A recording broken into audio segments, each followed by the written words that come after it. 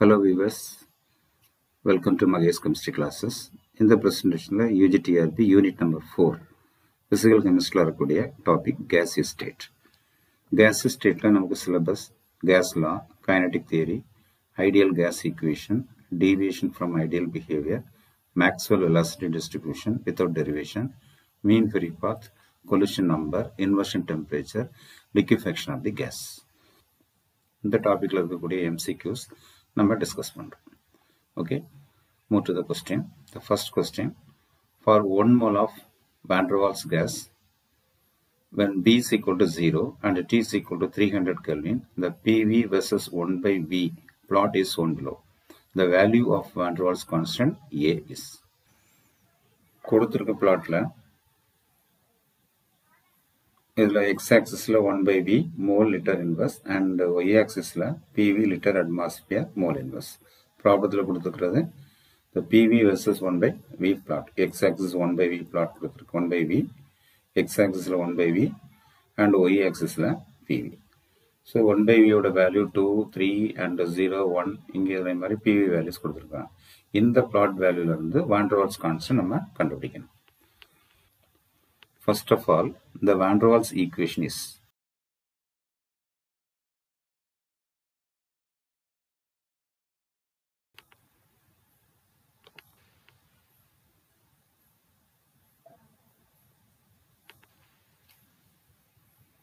So x axis la 1 by v, y axis la pv. So அப்போ இது linear equation இருந்தா the intercept is equal to RT so இன்டர்செப்டில் வரக்கூடியது RT C so C is equal to intercept நம்ம கொடுக்குறது வந்து RT and the slope is equal to minus A so இது வந்து M இப்போ இந்த ஈக்குவேஷன் யூஸ் பண்ணி கிராஃபில் பண்ணி கண்டுபிடிக்கலாம். ஸோ இதில் ஒரு ஸ்லோப் ஈக்குவேஷன் நம்ம ஏதாவது any one of the slope நமக்கு வேல்யூஸ் கிடைக்கக்கூடிய இந்த ரெண்டு இந்த ஏரியாவில் இருக்குது ஸோ இந்த ஸ்லோப்பை நம்ம கன்சிடர் பண்ணியிருக்கிறோம் இந்த ஸ்லோப் வேல்யூ நம்ம கண்டுபிடிக்கணும்னா இந்த வேல்யூ வந்து நமக்கு கொடுத்துருக்கிறது. This is X one this is X two அப்போ இந்த வேல்யூ வந்து நமக்கு ஒய் டூ இதில் கட் பண்ணுறக்குள்ளே வந்து ஒய் ஓகே ஸ்லோப் வேல்யூ எப்படி நம்ம கால்குலேட் பண்ணுறோம் the slope is equal to எந்த கிராஃப்லையும் Y two minus Y one divided by x2 minus x1. So what is the value of y2? y2 is equal to 20.1 minus y1 நமக்கு கொடுத்துருது 21.6 அப்போ divided by x2 x2 is equal to 3.0 minus x1 is equal to 2.0 this is equal to minus 1.5 divided by 1 so ஸ்லோப்புங்கிறத நமக்கு என்ன minus A is equal to minus one point five therefore a is equal to 1.5 van der Waals constant your answer is C for 1 mole of van der Waals gas P is equal to 0 T is equal to 300 Kelvin the PV versus 1 by V plot is 1 so இதில் இருந்து van der Waals constant value கண்டுபிடிக்கணும் using van der Waals equation so van der Waals equation P plus A by V squared into V minus P is equal to RT P substitute பண்ணுறோம் so P so expand பண்ணுறோம் ஈக்குவேஷனை தென் linear equation ஃபார்மேட்டில் கொண்டு வரோம். Y ஆக்சிஸில் இருக்கக்கூடியது என்ன? X ஆக்சிஸில் இருக்குது என்ன? எக்ஸ் ஆக்சிஸில் இருக்கக்கூடியது நமக்கு ஸ்லோப் எக்ஸ் ஆக்சிஸில் யூஸ் பண்ணுறது ஒன் பை வி ஸோ இந்த ஈக்குவேஷன் இந்த மாதிரி மாற்றி எழுதலாம். By substituting and different values you get your answer okay move the next question the ratio of the rate of diffusion of helium and methane under identical condition of pressure and temperature will be. In the question based on Graham's diffusion law.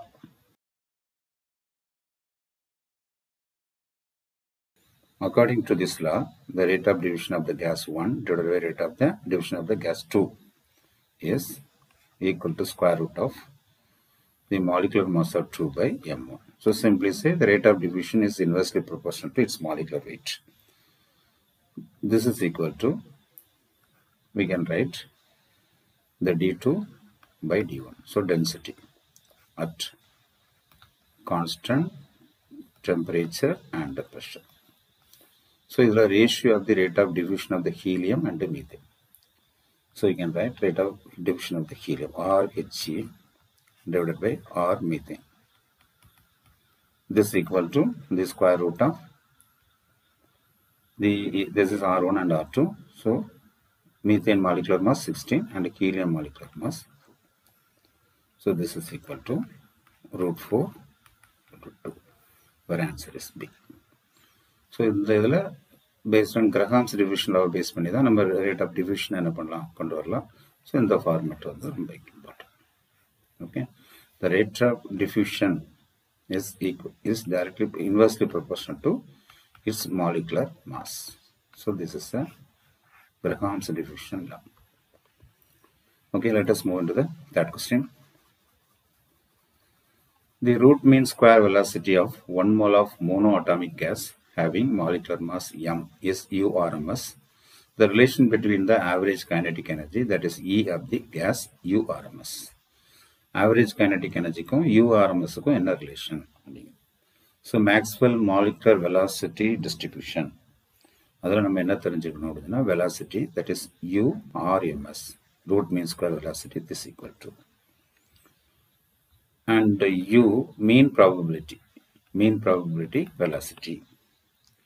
And velocity average velocity. So இந்த மாதிரி மூணு velocity வந்து Maxwell டிஸ்ட்ரிபியூஷனில் நமக்கு இருக்கக்கூடிய இதுக்கு derivation பண்ணி வரக்கூடிய formula ஆர்எம்எஸ்க்கு three RT by molecular mass எல்லாத்துக்கும் molecular mass most probable velocity ke 2 RT by m and average velocity ke 8 RT divided by pi into m. So this is the formula. You have to remember this point. U RMS, U most probable velocity and U average velocity. And the average energy this is called kinetic energy, is equal to half into m v squared இந்த இடத்துல இப்படி எழுதுறோம் that is u square. So VRMS, இந்த இதை நம்ம RMS velocity, mean, mean, root mean square velocity of monoatomic gas having molecular mass m is equal to URMS. The relation between the URMS and K. So KE, இதில் இருந்து நம்ம URMS, URMS square, this is URMS velocity, is equal to the kinetic energy 2KE by m. Okay. The kinetic energy is given as E, 2E by m. Kinetic energy here E is given. This is U R M S square. Therefore, U R M S is equal to square root of 2E by m. Simple relations அதை வச்சு நம்ம என்ன பண்ணுறோம் calculate பண்ணுறோம். So your answer is C so first Maxwell distribution of velocity நம்ம தெரிஞ்சு வச்சுருக்கணும். அதுக்கு பிறகு இதில் அந்த கைனட்டிக் எனர்ஜி நம்ம என்ன பண்ணுறோம் அப்ளை பண்ணுறோம் so this is a relations clear move to the next question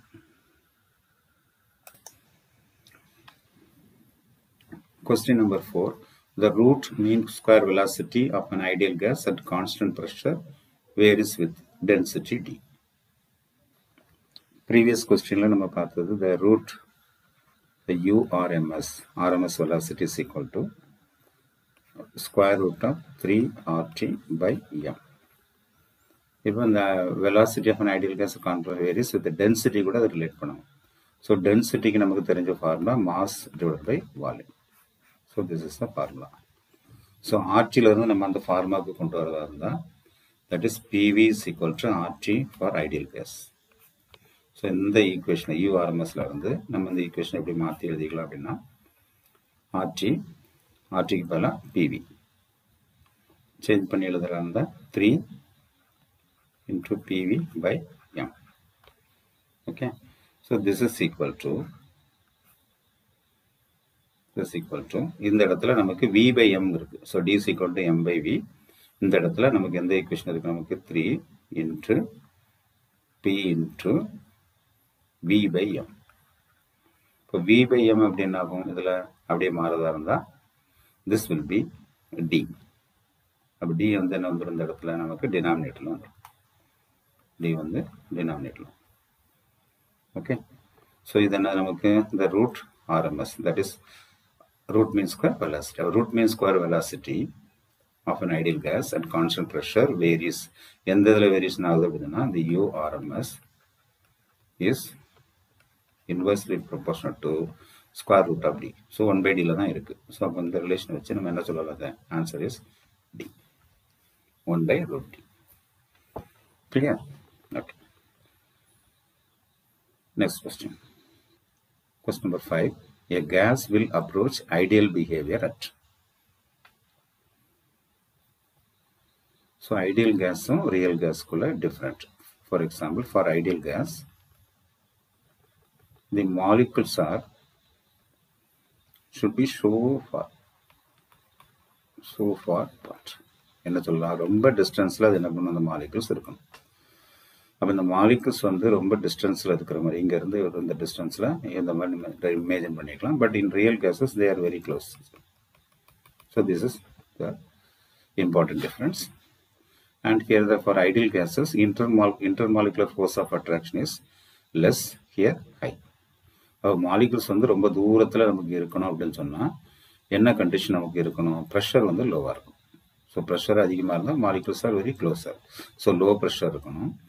high temperature இருக்கும் ஹை டெம்பரேச்சர் இருக்கும்போது என்ன ஆகும் அந்த temperature and kinetic energy is directly proportional அப்போ இது இன்க்ரீஸ் ஆகும்போது the molecules are in the maximum speed as temperature increases the molecules are in the same speed. as temperature increases the molecules are high speed so that the intermolecular attractions are less they are so far apart okay so low pressure and high temperature இருக்கும் So answer is high temperature and low pressure C. Clear? Then next question. The compressibility factor for an ideal gas. Compressibility factor is at is given by PV by RT.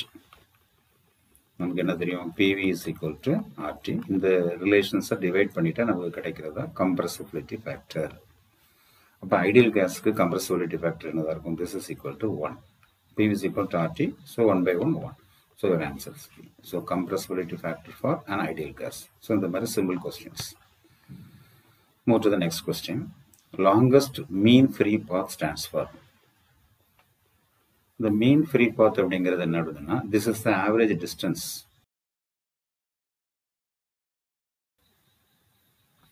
traveled by a molecule.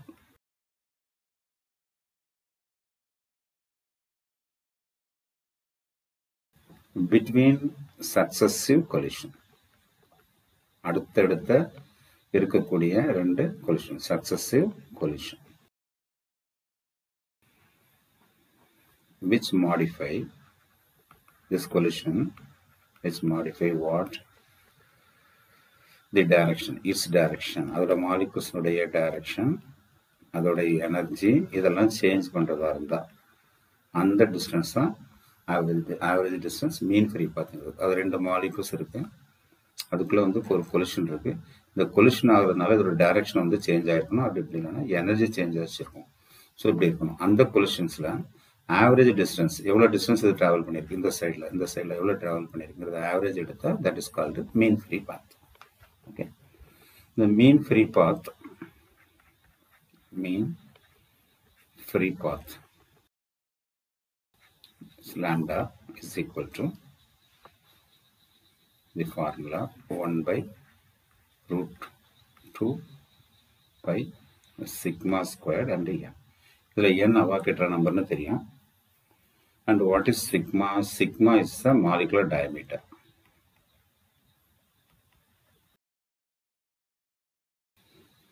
so இதில் இருக்கக்கூடியது n Avogadro number இது constant இது எல்லா வேல்யூஸும் இந்த இடத்துல நம்ம இருக்கு அப்போ இதில் ஒரே ஒரு ஃபேக்டர் மாறக்கூடியது என்ன அப்படின்னு பார்த்தா the lambda is inversely proportional to square so this is the relation mean பரிபாத்துக்கும் molecular டயமீட்டரும் இன்வர்ஸ்லி ப்ரொபோஷனாக இருக்குது இங்கே நமக்கு ப்ராப்ளத்தில் கொடுத்துக்கிறது ஹைட்ரஜன் ஆக்சிஜன் நைட்ரஜன் இதில் மாலிகுலர் டயமீட்டர் எதுக்கு வந்து ரொம்ப லோயஸ்ட்டாக இருக்கும் அப்படின்னு பார்த்தீங்கன்னா ஹைட்ரஜன் இல்லையா? Hydrogen is very small so இது இதனுடைய மாலிகுலர் டயமீட்டர் வந்து ஸ்மாலராக இருக்கிறதுனால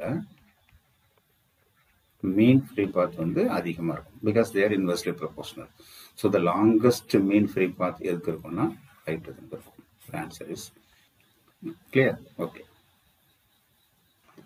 the value of Van der Waals constant for the gases oxygen nitrogen ammonia and methane are 1.360, 1.390, 4.170, and 2.253 liter square atmosphere mole inverse the gas which can most easily liquefied.